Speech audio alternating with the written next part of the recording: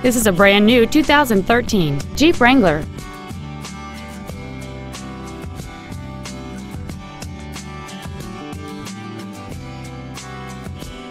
Its top features include skid plates, a low tire pressure indicator, and traction control and stability control systems.